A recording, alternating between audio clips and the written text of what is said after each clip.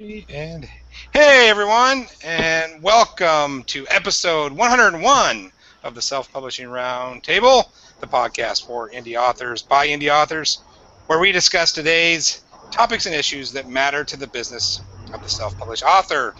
I am your moderator, Wade Finnegan, and my co panelists, well, are Xavier Granville. No, hi, internets. uh, it should be Michelle Read, but we need to to make a last minute substitution. So off the bench came Mr. Matt Morris. Off the bench. I, yeah, I'm, soon I will be turning my camera off because I am fulfilling the role of, of Michelle Read. well, I thought that's why you had the pirate hat on. Oh, no, You're that's still not it. hiding your face. Oh, that's me. And our special panelist this week, returning, we didn't scare her off, is one Crissy Moss. Say hello, Crissy. Hi. uh, we brought Crissy back on tonight to discuss uh, a very important topic that often gets overlooked. And that topic is the, the time between you get done typing and think, oh, yes, my manuscript is done, until the time you actually hit publish. That whole uh, area there that, uh, frankly, for some people, kind of scares them a little bit. So, um, Crissy is just, yeah, it is intimidating. And Crissy just so happens to be getting ready to go across that bridge again with her second novel. And I, if I would have been professional, I would have asked before the show start, what is the title of that second novel? Which is curse. Which is Curse. Okay, which will be uh, on your uh, digital shelves soon. Um, but uh, she's Next month. Next month. So you have an actual release date set? I, I hesitate to actually release a date. Um, I'm hoping by the 7th. But Cool. I'm shooting for the 1st. Nice, nice. So, yeah, so we're going to talk all about that process of um, what do you do when you actually hit type the end and get it ready to go to market. So, um, as always, we encourage everyone listening live to leave your questions, comments, uh, be part of the show. We love our live viewers. We love all our viewers and all our listeners, but live viewers make it special.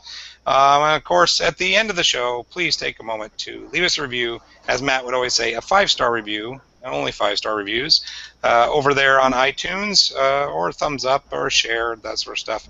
Helps us to keep the show viable. We do appreciate it. Um, before we get started, too, I will give a little shout out to Xavier, even though he didn't know I was going to. He's also just released two short stories. Uh, Xavier, give us the titles of those, please. Um, I got one that's called Homecoming, and that's a, uh, a thriller horror. Um, and then the other one's called uh, Flowers Out of Time, which is kind of a uh, sci-fi with a little bit of a romance, but not in a lovey-dovey kind of way. It's it's a pretty sad story. Oh, very interesting. So go check those out for Xavier too. So, all right. Uh, to get us started, uh, Crissy, um, I think we'll we'll probably start in the the editor area. Of course, you can kind of take this wherever you want. But it, actually, last week we hinted about this a little bit in our uh, chaotic discussion. But um, what do you do to get your book ready to go to an editor? And then we'll kind of pass it down the line too for. Um, I give it another read and try to um, straighten out, you know, anything that's gotten mixed up or any sentences that have gone astray and things like that. Um, I, especially with it being such a long work, I will ha- I have repetition in there sometimes, where something um, is explained like two or three times in the novel instead of just the once. So I'll have to go through and pull those out. Um, just another pass with the spell check and everything, you know, doing as much as I can to get it ready. But I don't want to spend more than maybe twice doing that after all of the said and done, or else I'm just doing it forever. And the editor can do a much better job than I can. Now, do you do a developmental edit or just a line edit with your editor? Um, no, with the last book, I actually I had somebody who um, read it and gave me, you know, some advice on what was missing, and that was very helpful. Um, this one, I don't have somebody to do that for me, so I'm just sending it to the editor. Cool. Matt, how about your process when you get ready to for your edits? Um, I mean, I,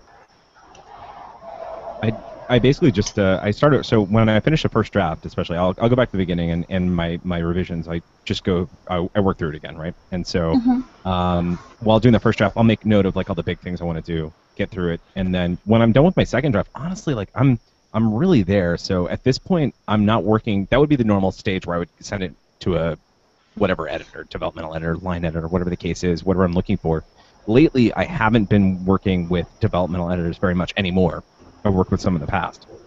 Um, because I'm able to, I think, better plan just those smaller stories and and better handle the arcs and, and whatnot whenever I break them down that way. Um, so at that point, that's when I mean I'll go back and, and uh, I'll send it to some beta readers at that point.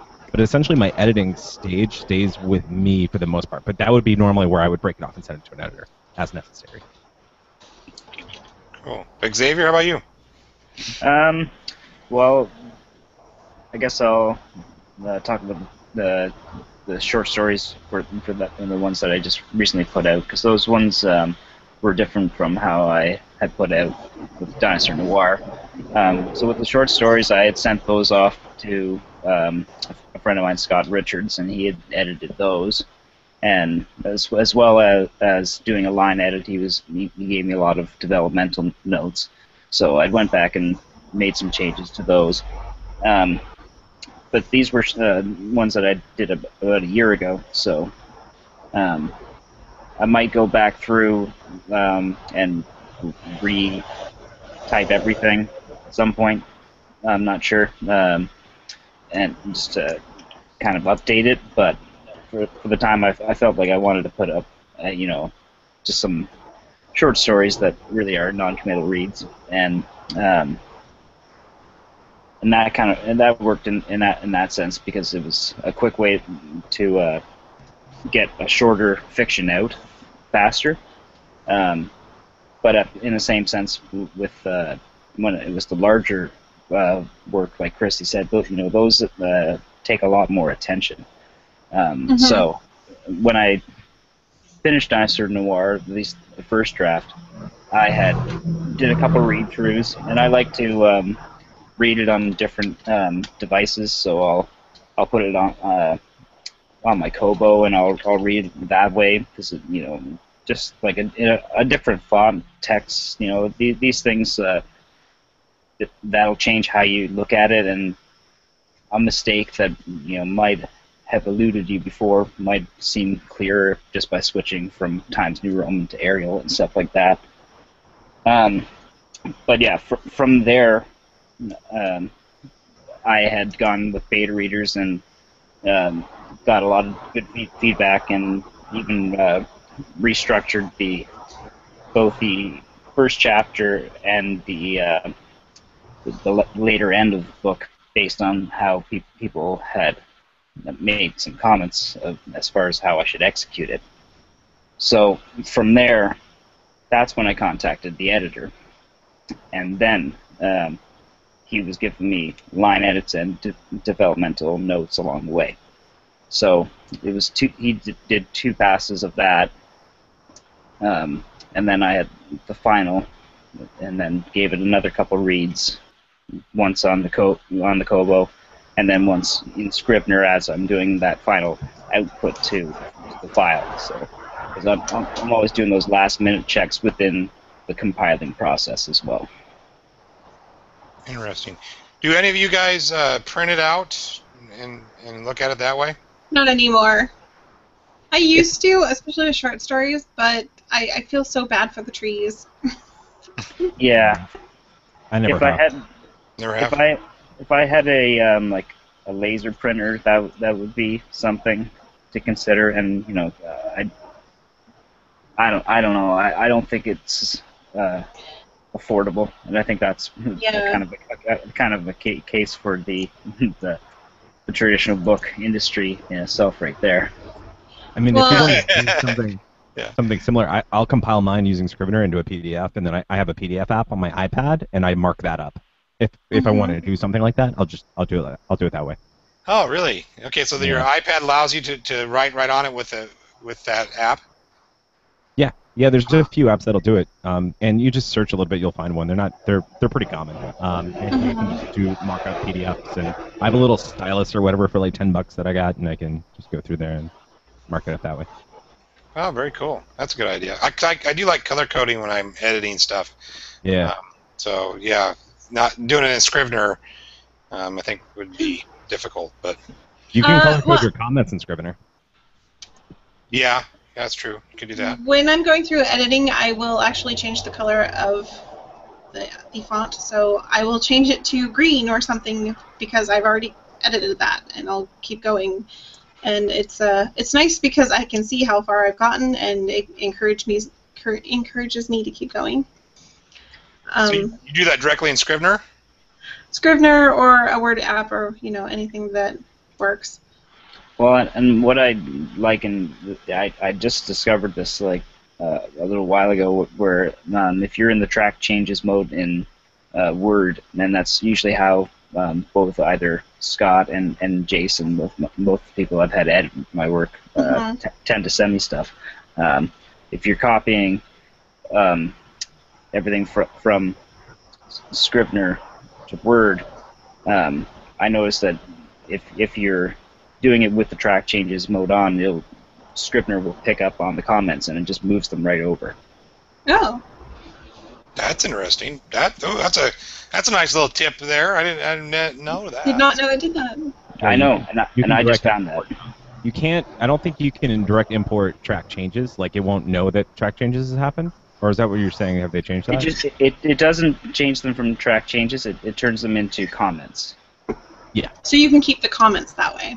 Yeah, exactly. So so those uh, same um, things that were highlighted as being either you know either developmental change or, or line editing change, um, that it'll stay um, highlighted in Scrivener, but it'll be uh, converted into a comment. That's that's interesting. Cool. I did not know that. Learn something new here on the round table. Nice. Mhm. Um, okay, so we send it off to an editor, right? That's that's usually step number one, or we edit ourselves, depending on what you're doing. Um, what would you guys say is the next thing to do to get things ready to publish? Well, if you haven't got a cover, you have to figure that out really fast. Mhm. if you haven't got a cover at that point, you're way behind the game. That's true. Well, Okay. okay, so Matt, when when would you suggest doing your covers? When do you usually start working on your cover? As soon as I know I'm gonna write a book. I do it about uh, maybe like halfway through because then I know what the book's about. Um, Matt works a lot faster than most people. oh no, I just know that a book cover doesn't have anything to do with what the book's about. Doesn't it? It doesn't have to. No, absolutely. It doesn't have to. No, It that needs, is to, it true. needs to fit the genre. That's it. Yeah. Well, sometimes I don't even know what genre it is until I'm halfway through the book. Oh, that's fair. Yeah, and- I- I have a trouble with that. genre. Yeah, I, even though I think it's in a certain genre, I have trouble with that too. So, okay. How about you, Xavier? How, how soon do you start working on your cover? Um, yeah, like Matt said, uh, I do have. Sometimes I will work on, on a cover right when I have the idea of, of a book. Sometimes I find that kind of gives me a little bit of inspiration to get the book done because I'm just like, you know, I already have a clear picture of this being uploaded because that's the cover. All I need to do is, is fill the, the book. Um, but uh, it depends. Like uh, for the Dinosaur Noir uh, series, you know, I, I had a couple different versions of that uh, cover, so that was an ongoing thing. Um, but now that I have a kind of established thing uh, look that I'm happy with, um, now I'm doing like I, I have the the cover for the second book kind of half done right now, and I'm almost done writing the book. So I'll have to uh, fix one thing that I ha- have have to do for the cover before I finish the book. S- Just so that way, it's better timing that when I get the edits back, I'll already have the setup of both my Kindle uh, cover and also CreateSpace too. Interesting. Okay, uh, Crissy, I know you just used uh, at least for your last book, right, or this book, I should say, right? I think 99designs, or was that the last one? I'm, I used it for both of them. I well, I used it for the last book, and I ended up with two good designs that I liked, and so I got grabbed them both. oh, that was a good idea. Cool. Um, can you just share a little bit how your experience was with that? Uh, I know we've heard a lot about it, but I don't know if I actually have ever talked to somebody directly that did the whole process. So. Well, it's it's really simple. Um, you tell them what you want, and you give them some de- description, and you start getting pictures in. Um, the a lot of the ones I f- got when I first when it first went up were not that great. you get some really bad ones, and then you start thinking, these are terrible. Why did I do this? And then all of a sudden, somebody will pop in there with this really amazing, great picture, and you're like, oh, that's why I did this. At least that's how my experience went. Um, the worst part was for me that people kept asking me, well, why didn't I choose them? And I didn't want to just say because your your cover was terrible. So I had to figure, you know, tell them, you know, this is what threw me off. The font, I didn't like the font. It doesn't say this genre, or it's not, you know, it's too small or whatever. And um, you know, you get a lot of people who are this, they're, they're trying, they're just learning, and it's clear that they're just learning.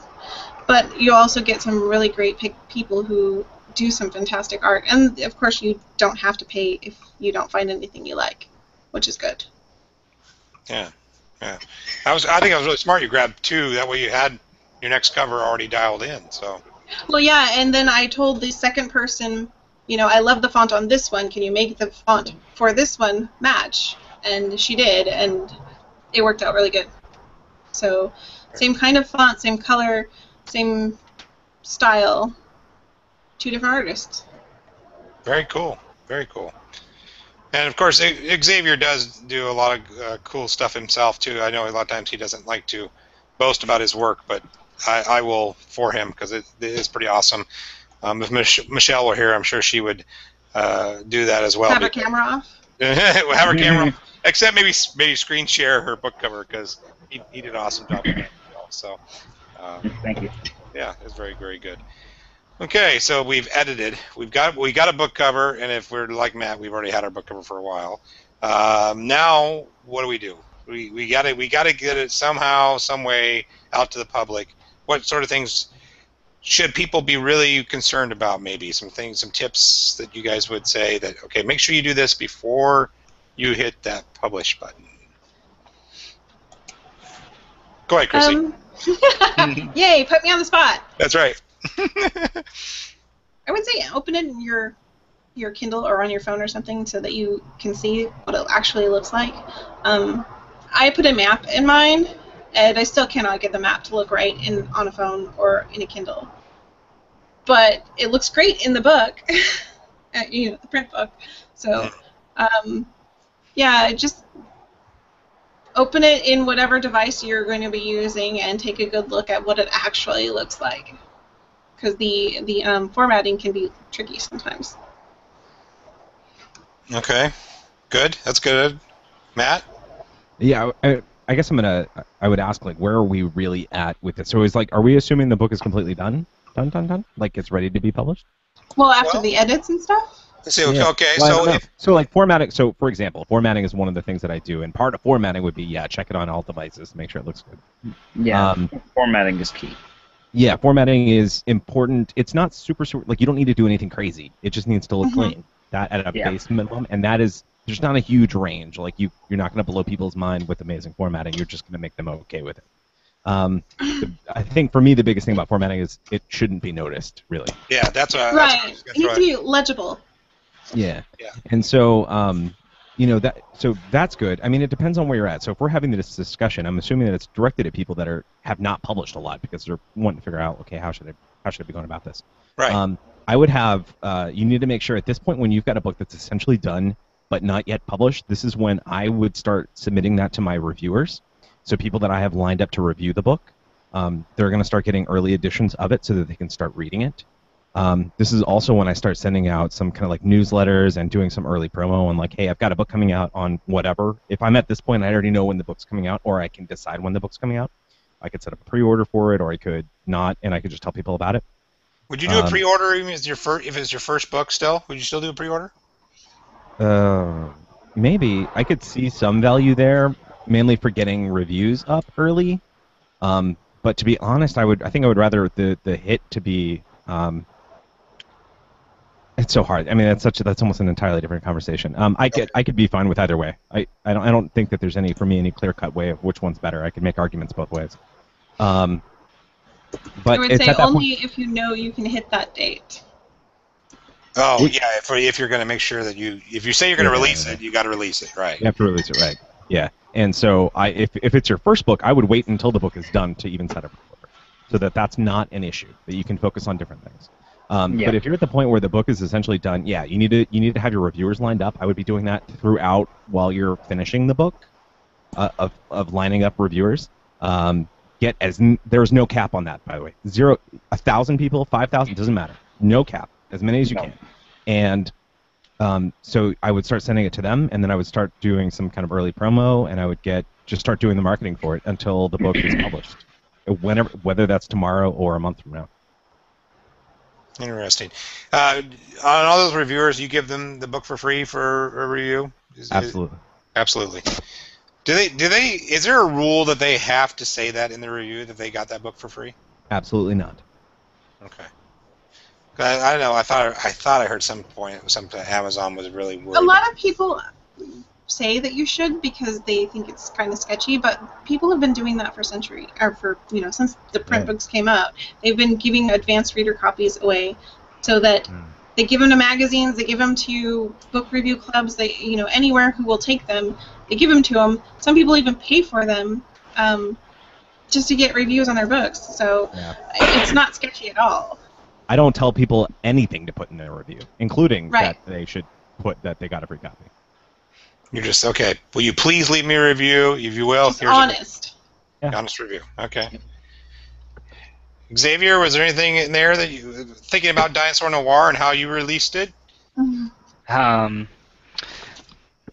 I w- I'm trying to think now. Like, um, it's it's definitely good to already have people talking about your book. Um, so, um, as much as um, I could uh, have hyped the the book initially, um, a lot of the initial people that were buying were were a lot of the authors that I that I knew that were um, had been kind of hearing this idea being passed around in the right writing circles. So um, for a little while, I, I, I was just known as the dinosaur noir guy, and I, I probably Mhm. still am right now.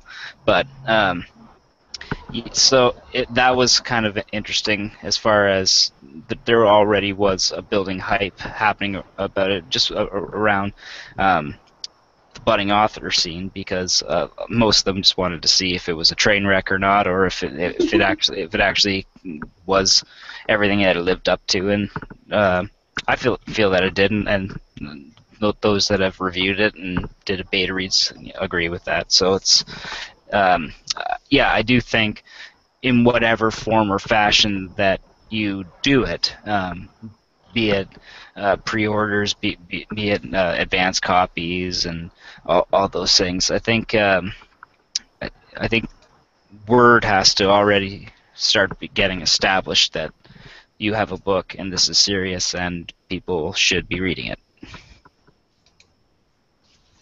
Good point. Good point. So tips on getting reviewers? Yeah, there's been some questions in the in the comments. Uh, do you guys have a team? Um, if you don't, what are some recruiting ideas? That's my weakest point. Okay. So that maybe that would be a matter Xavier question then. Do you, do you guys have anybody? uh, It sounds like Matt, you have quite a few people lined up. Is that true? As many as I can. I, I don't. That's not something I ever stop. I am constantly adding to that. Yeah. so how Um, do you get them? Yeah. How do you approach them? Uh, I've talked about this before multiple times on on Author Strong or on other places. I think it, I can't remember if I mentioned it on on SPRT before. Um, I use Goodreads. I'll contact good people on Goodreads and give them the book for free, and uh, and then and then get them onto like a review list. Um, other than that, though, I mean, I put it in all of my newsletters. I offer if people getting my newsletter want free copies of my books, all on every single newsletter it says if you would like to review copies of my books, click here and you will get them. And that's it. So Do you do any follow up to see if they actually reviewed it, or do you not even worry about it? Just send it to them and not worth my time. Yeah. not worth your time. Okay. Yeah, some people will do it, some people won't. They'll do it for some books and not for others. I mean, people have varying schedules, and it's it's a numbers game. So my goal is not to follow up on every single one of them. I can I can run like checks on my on just on the newsletter in general to see if there's people that are not opening the newsletters or not downloading the books, and those people I can remove if I need to. Um, and because they're they're not kind of participating at all. But I mean, really, at the end of the day, like some people are going to be around, some people won't, and so it's a numbers game for me. It's it's if you, even if you have a thousand people on that list, the market is so much bigger than that that you'll never hit the point where it's not worth your time to give away a free book for a review. Right. Good, good point. And, and it brings back the thing that we've hit on a lot on this show. Author Strong's hit on, or the importance of your list, right? The your list, the bigger your list is, the better off you are. So I mean, that's been Size matters. Size does matter, and that's what she That's said. what she said. Xavier, you got any tips on how to find reviewers? Um, not anyone I think that I've found any particular success in, but I think that um, I think you have to attack every angle that you can, and there's I, I don't think there's any bad way to go about uh, trying trying to find readers and reviewers, because they, they can be uh, two different things because there are people who take it seriously and, and are Amazon certified reviewers and stuff like that. Um, as much as the, there is the casual reader who is driven to write a review because they thought it was either really good or really bad. So, um, yeah, I, I've done the Goodreads thing. Uh, I've contacted people. Um, uh, there's, um, I've done Facebook groups and, and like my mailing list and stuff like that. Um, but I, I do also um, just uh, give out books in my area where I live. Um, so like um, there's a, a convenience store right right down in the street where I I'll, I'll frequent because it's it's right by my house. Um, so I g- give the uh, the two guys. Uh, Two, two Pakistani gentlemen who, who run the store. I gave them both copies of, of the book, and um, one one of the copies of the book sits in the store. So awesome. it, so it's and so any anytime that I'm in, in that store and I see someone that I, that I've known and haven't talked to in a little while and they ask how what I'm doing, I'm like, I'll turn to the guy, the guys who who own the place. I'm like, you still got my book? I want to show this guy. So, uh, yeah, I, I do think that um, yeah, there's there's no wrong way to go ab- about it. So, uh, and and it's it's funny because a lot a lot of times you'll get a review from someone that you know just picked it up on a free day and you would never have expected because you didn't re- really uh, you know try to get them to review it other than your call your CTAs at at the end and stuff like that. So you already sold them on on the book. It it's just uh, and it it was them that made the des- the decision to leave the review rather than you going up to them and say, "Hey, I need a review." It, it's it you know you never know who those reviews are actually going to end up coming from because sometimes the people that you expect to review the most as far as you know those people that you know I read the book and then it takes them about 2 months to post that review. So you never know. Yeah, that's that's that's a good point. Um, I, I would- I would put myself in the, the guilty party of that too. I've read you know friends, books, things. I even liked them. It doesn't like, you know, you, sometimes you might feel guilty if you're going to leave a bad review, but it's, it's never been that way for me. It's just been like I'm supposed to re- leave a review. hey, I gave Sean and Johnny a three, and people are like, "Why did you do?" That?" Because it deserved a three. Ouch! Ouch! I might have just Well- withheld it and say I forgot. well, Sean later asked me if I would review um, because it was Space Shuttle, and so he asked me if I would review the whole book, and because it was on the first part of it Episode, Yeah. episode, and so they when they finished it, he's like, "Would you review the whole thing? I'll give you a free copy," because he wanted to see if they'd done better. Did you end up reading it? I did. There you And go. Did it improve? Yes. okay, good, good. I still couldn't give it a five because there is one specific character I absolutely hate in that book. Hmm, Interesting, interesting. All right, so a little note to self: not giving a review copy to Crissy. No, I'm just kidding. um, Hey, honest reviews, they're worth something. that's true. That is yeah, true. I would I would much rather an honest three or an honest two or an honest one rather than um, something ridic- ridiculous where someone just le- leaves a chalked up review. Um, and yeah, like there there was there's one review that I have on, on for Dinosaur Noir that I'm not sure who who it who it came fr- from, but it just uh, it just seems li- like the, the person didn't re- read the book, just kind of left a random review. Yeah, I've got one of those. Or yeah. or I hate dinosaurs. One. Yeah. No, like yeah, it was just one of those bizarre things where I'm like, okay. Mine was, I wish this was better. I can't wait to read more of their her books. One star. To be fair, Yeah. I want to give I want I want to give every single book, and I wish this were better.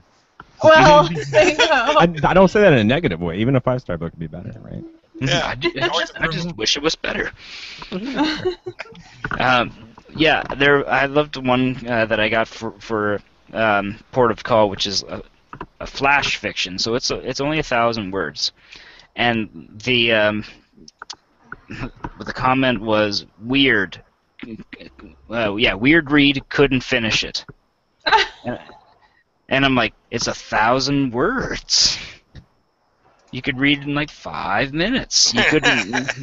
what happened? Like you got really confused by this short story. Holy crap! yeah, that's good.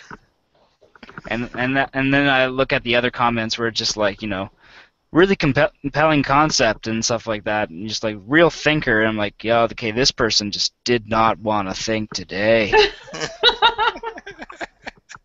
Their brain was turned off. Uh, what? Okay. got off track.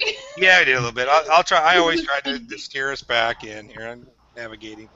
Um, I want to talk a little bit about uh, the different platforms. Um, and I, I know this. We could do a whole show on this, so I don't. You know, it doesn't to get real detailed. But Mhm. um, there's, you know, a lot of people are using some kind of aggregator like a, a draft to digital or whatever. But if you're not, what are some things that uh, you should be I don't know, up on or what? You know, Amazon's going to be your main one. Uh, Matt might even make the argument it might be your only one, at least for a while.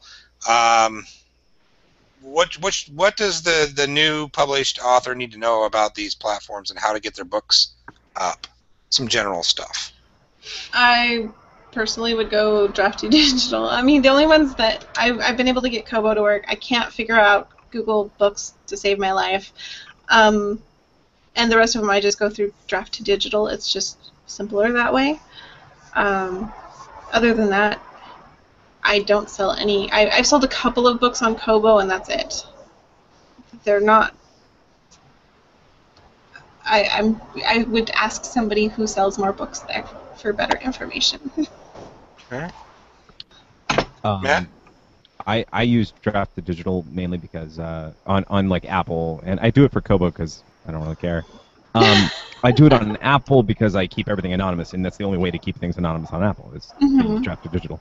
Um, Two, if you don't have a Mac, which I don't, you can't put on it on Apple. yeah, you can do one of those like rent a Mac things that they have online, um, but Mm. it's much easier if you actually have one. Um, I, it's it's like what do you need to know? It, there's not too much to know because one of the reasons that all the other platforms are so crappy compared to Amazon is it's very difficult to actually sell things on them. It's very none of the marketing is geared towards them. They don't have the same kind of affiliate programs that Amazon has. They don't have incentive for marketers to target them. Um, like things like Kobo, they're not based on sales. They're curated lists. So Right.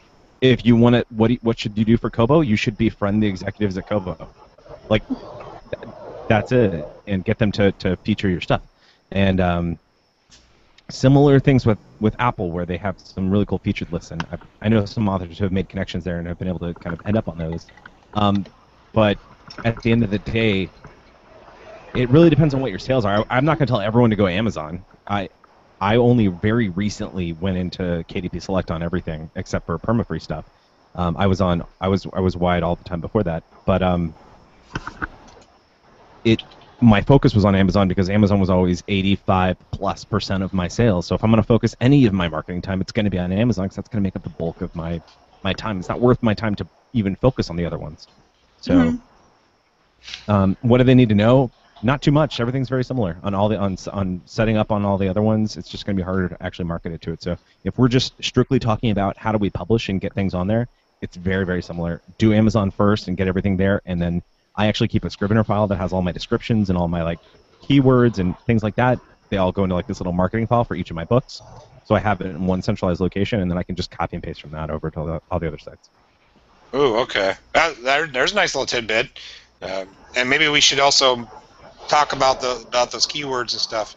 Now, Xavier, do you use Draft Digital as well? Because there are, I, I don't want to sound like we're a Draft Digital commercial. Because if they wanted us to do commercials, they could sponsor. Well, us. I mean, the other one is Smashwords, and Smashwords is sucks. I also isn't.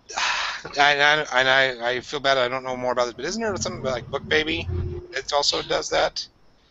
Yes, I think. Yeah, I've heard, I've heard of this book, Baby. I think Joanna does that one. Yeah, Joanna Penn. I think you're right.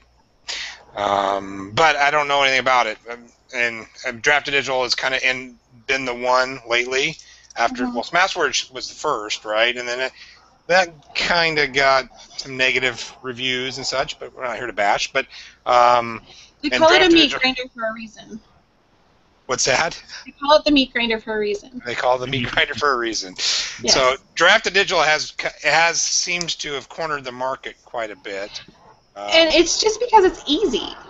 It, it's very simple. You fill in the boxes, you give them your stuff, and they, they distribute it. It's it's incredibly intuitive and easy to do. It's just like Amazon is easy to do, and then they just push it off to uh, the other sites. Um, Smashwords, you have to figure out how to format your stuff in order to just to get it into their system, and then they'll give it out to the other system, the um, other sellers. I So would, yeah, I would, I would never use Smashwords to distribute to other people. It takes them a year and a half to get it there. That's the other thing. That That they're works. slow. Draft to Digital is pretty fast. Now, Draft to Digital will, will technically do it to every platform, right? It would even do Amazon. It Correct. would, but there's no point to do that because Amazon's so simple. Yeah. To be fair, once you learn them, they're all really simple. I mean, Well, when you get down to a Yes. draft digital is expensive, 15% on the bottom line. Um, so there's multiple factors to be considered there. If you're going to take this seriously, then learn how to do it directly to all of them. If there are other considerations, specifically Apple, because if you want to be anonymous, you can't do it direct, and if you don't have a Mac, can't do it direct to Apple. And so mhm. then you could use something like Draft to Digital. I like Draft to Digital especially for all the minor sites like Scribd and Oyster and, and PageFoundry Right. and all those other random sites. I was making a few hundred dollars on Scribd of all of them um, before I before I left it, and um, I was making more more there than I was at like Barnes and Noble, Kobo, and Apple combined. Actually, um, Wow, and and no, with no marketing, right? not zero marketing. Yeah. Never marketed the Scribd before. Um, and uh, and so I would I, they are expensive. That 15% is expensive. So if uh, the big sites, Smashwords, uh, Apple, Kobo, Google Play, Amazon, and Barnes and Noble, those six, learn how to put them on directly. For everything else, you Mhm. can go easily through Draft to Digital. Um, and so it's it's not hard once you kind of figure it out. Once you get through, there's some learning curve, and Google Play is more than frustrating. oh um, yeah, But, More uh, than frustrating. Like like throw the computer out the window, frustrating. Doesn't make sense. I gave up. I couldn't figure it out. I, I'm looking for a good Quite tutorial. If anybody knows of a good tutorial for that, I will. I love you forever.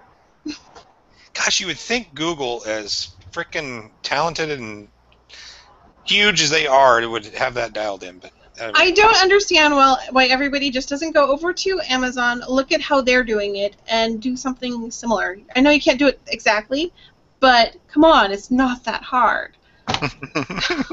yeah, good point. Uh, Xavier, uh, Erica had a question, um, and actually, I think you might be the only one that can actually answer this. I don't know if anybody Uh, else is doing international stuff. Um, the yeah, Erica's uh, question um, was regarding Draft to Digital and international sellers. Uh, what is the inputting of tax info like?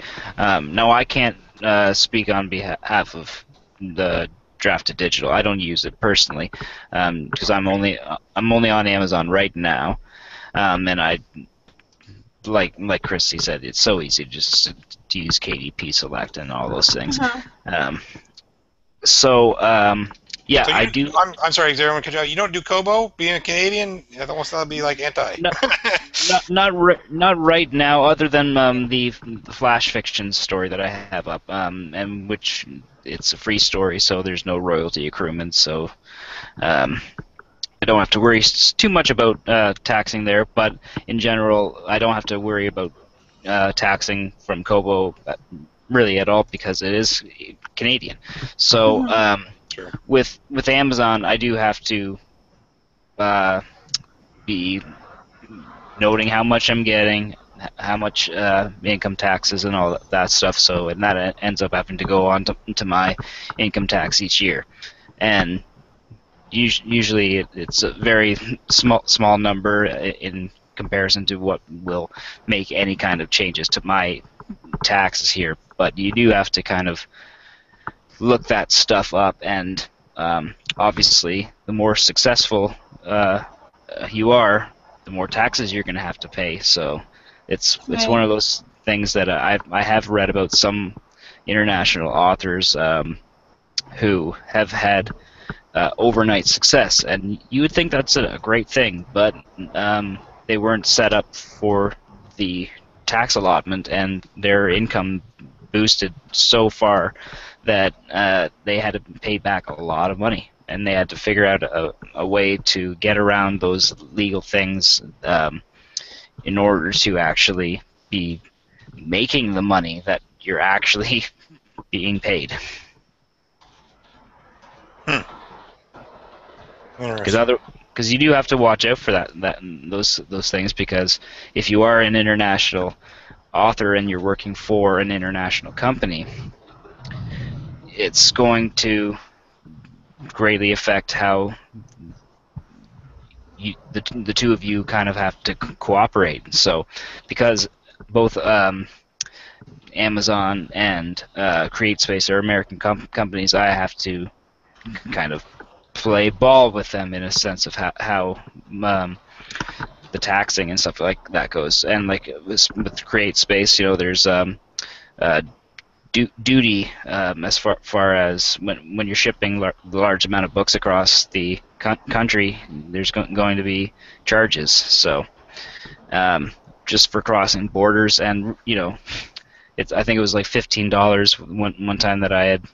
Uh, you know, or ordered like a dozen or so copies of Dinosaur Noir, and you know, it had got as far as to my house, and the and the guy had said, "Well, you have to uh, pay fifteen dollars for for this, you know, for the how, how much it costs at the at the the border, and the fifteen dollars is just for someone to get the package, look at it, say yes, this is a package and it's going here, and and car- and carry on, and that so like if there were you know a reason for them to actually have to open up a, a package and do it, then you'd be charged even more.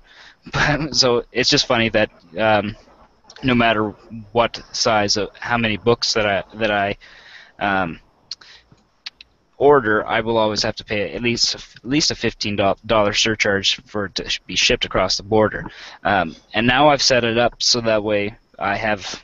Uh, I can't remember what the uh, the company is, but ba- basically, when when packages come from uh, America to me now, I, I just get uh, automatically billed for their services charges rather than them show up at the door and be like, "Give me fifteen dollars." That's crazy. yeah, yeah. Here's a, it's a package. Okay, yeah. that's just that's just nuts. Mm. Some things are just crazy. Um, well, uh, one more thing. Well, not one more thing. Maybe a couple more things. But the thing I wanted to hit on is something that Matt had mentioned. Um, had has a file basically set up, and it sounded like Matt. Correct me if I'm wrong. For your front matter and for your back matter, uh, for your books. Um, what sort of things are you worried about getting in there and stuff? Again, we're kind of focusing on the first time uh, person getting ready to push that publish button and making sure they have all their ducks in a row. Yeah. I have a I have what I call a publishing file. So I've got two file two Scrivener files I work out of. I've got a writing file and I've got a publishing file. The writing file gets everything that I'm actively working on, everything.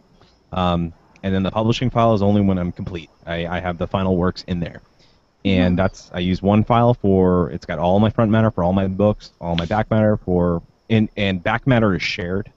And so um, for like front matter I have different like folders and everything for each of the books in my Scrivener file and then the back matter is just one, so I only have to update back matter in one spot, and I could re-update all my books just by recompiling them. That's a good Um, idea.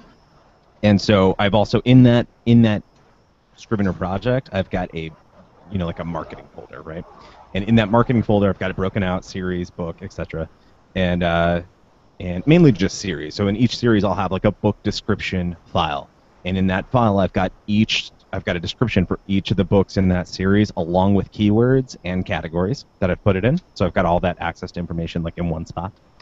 Um, and that's that's really it. I mean, if, if you were gonna, you could put some other things in there, like if you had some like promo stuff or like about the author type stuff, um, kind of promo things that you would be sending out to different sites that if they're gonna feature you or if you're out doing, you know, book blog interviews or whatever things they ask for, like some of the media stuff. And um, it's good to have all of that in one spot. Um, but I also put all my book covers in there. And then, in any case, so that answers part of your question. The other part is what should you be focused on? Um, I mean, it's hard. You want to you want to read. Uh, go read Libbie Hawker's uh, book on book descriptions. I'm totally blanking on the name right now. Um, Some some blurbs, isn't it? Or oh, I'll look it Gotta up. read I'll- that.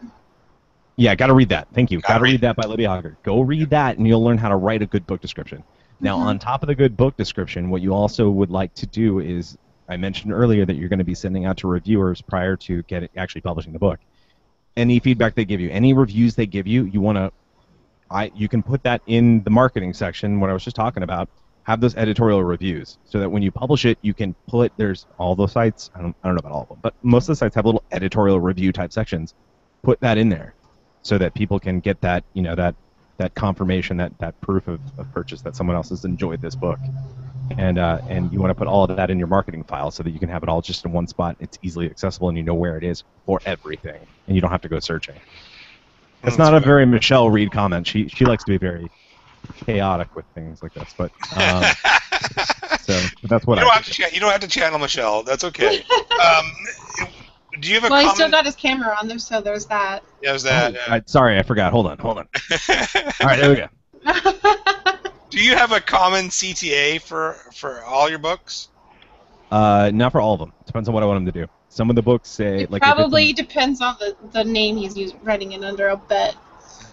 No, it depends on honestly. It depends on the series and how far along they are. If I'm in the middle of a series, then they get a, they get a link to the next book. If I'm at Ah. the end of the series, they may get a link to the newsletter. Um, it depends on each one, and I just put that at the end of each book. I don't. That's not shared among all of the books. The the things that I will share, I will have like I have an ad for like joining, uh, um, my ARC team, right? So that goes at the end of every book, so that people can know that they can get free copies of all my books.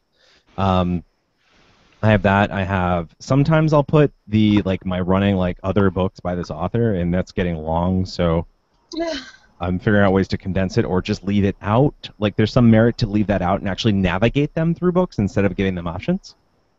Um, oh, like lead them by hand more. Yep. right. and, yeah, direct them instead of instead of saying, "Hey, you could go read one of my however many whatevers." Um, go read this one, and uh, so there's some merit to that. I mean, wouldn't it be better just to, to lead them to like your website or something where they can see all all of them instead of having all of them listed anymore? I mean, plus you know, this is the next book. Yeah, it's a it's a styling thing. Um, I I definitely don't think that they're going to be going to your website. I think predominantly they're not going to be going to your website to buy books. They're going to be going to Amazon, and True. uh, and so I, I or like- wherever they got it. Yeah, and and well for me and for me right now I'm I'm essentially KDP Select except for permafreeze, so they are going to Amazon. Um, yeah, so I don't necessarily like leading them. I mean, they can go back to my website if they want, but honestly, the only thing I want them to do is I want them to get on my newsletter and I want them to buy books from Amazon. That's it. Those are the two things. So ideally, I'm navigating them to one of those two things. If it's clicking on the link for the next book, they're going to the next book on Amazon, or if it's sign up for my newsletter, they're going directly to my newsletter. I don't want to send them anywhere else. Mhm. So when you do that, that uh, newsletter link, it doesn't actually go to your website to fill out the box. It goes to a separate page, or how's that work? No, the newsletter link will go to my website to Okay. to sign up for the newsletter. Okay. And if it's uh, if it's uh, buy my book, if the uh, if the book is available, it goes to Amazon. If the book is not available, it goes to my website to sign up for my newsletter. Okay. Okay. Have you ever uh, thought about doing newsletter sign-ups uh, or whatever for, uh, or, or actually book reviews uh, for a, a trade? Basically, if you leave a review, I'll give you the next book free. I've heard a lot of authors be use, using that. Show me, show Um, me that you left a review, then you can get the ne- next book for free. I do that indirectly through like signing up for uh, my my for my ARC list. I say I, there's a field that says, "Give me a link to a review you've left." I don't actually check it. Um, they just they just have to they can put it whenever they want and they get on there. Um, I'm not in the habit of like leaving people off of that if they want to be on it. Um, and so I, I just I put that little extra step in there to make it a little bit more difficult, but it's not actually a requirement that I that I follow up on. Um, yeah, I mean some people have had success with that, uh, and I don't do it. It's something I should consider. Um, I should. I, I like the language because I already do that. I already say you can be on my review team and you can get all of my books for free. Um, but it's it's in the wording of like right there of saying you can get the next book. Go leave me a review on this, and I'll send you the next one for free. And Yeah. it's all it's all about language. It's about the copy. And Mhm. and so I, so essentially I'm already doing that. But I think that there I could maybe better the language that I'm using to do it.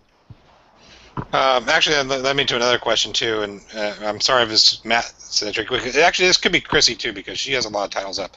So you decide to change something in your back matter, or something has changed about you, or whatever. Um, how how difficult is it to go back and update those works? it's time consuming. Um, I, I've been doing it off and on because I, well, I put out a bunch of stuff back in 2012. 2013, I did like, or 2013. Two, last year, I did like nothing. And so this year, I've been slowly updating everything, and because I have them each separate files, it's taking me a lot longer. I think I'm going to steal Matt's idea of having them all one file because that sounds like a very good time saver. Yeah, I was Um, gonna say for me, it actually doesn't take all that long. yeah. It's it's time consuming and especially if you you're you're changing it constantly. Like I know the guys over on Self Publishing podcast, they change their back matter all the time. And they've got like thousands of books, so it takes them a while. That's a waste of time. I don't Yeah. recommend anybody do that. Yeah. if you can get something that is streamlined and it works for you that you can leave on there, that's I I would suggest that highly. Yeah, I think anything that you can do ahead of time, you know, like like like you're saying, Crissy and Matt, like if there's any kind of uh, thing that you can get ahead of already before it's time to hit publish, like key- keywords, the, the log line, you know, all, all those little things. Like I, I I'm always going to have developed my um, my log line, like my my blurb, um, probably before I've written the book. That's going to be something that's in my my world notes, like like as I'm brainstorming, because not only is it like um, some something that you know it's good to have done ahead of time, but also it's like you're selling it to yourself hmm Hmm. because if if you're right if you can describe it well enough to to yourself and be like yeah i feel like writing that book that sounds exciting then it's probably going to be a good enough m- uh, blurb for someone to read it Oh, that's interesting. I don't know if I, I don't think I've ever heard that advice from you before, Xavier. So, so, so you sell it to yourself prior to you even writing the thing. Yeah, if, if it doesn't sound exciting, why would I write it?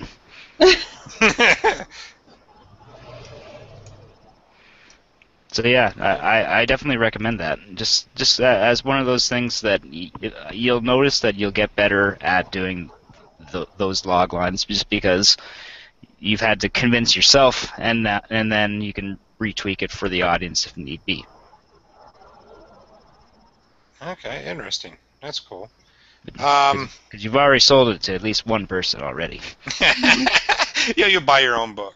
Yeah, I always do. it's kind of like kind of like the uh, candidate. They always vote for themselves, right? Yeah. We're nice like that. Uh, yeah. Um, I was trying to check the site if anybody can help me out as things go flying by. Do we miss um, any questions? Anybody have any questions that we didn't capture?